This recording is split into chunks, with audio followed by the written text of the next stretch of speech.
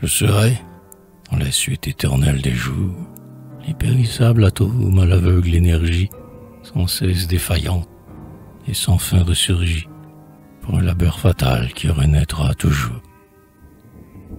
Je deviendrai le lys des royales amours, qui frémit de coups d'ailes et qui se meurt du nombre, je me lèverai parmi des fleurs sans nombre, vers les astres d'argent, aux cieux de noir velours. Et mon corps, lentement, s'épandra dans la nuit, en un vague regret d'une chose inconnue, d'un cœur jadis meurtri de songes impuissants.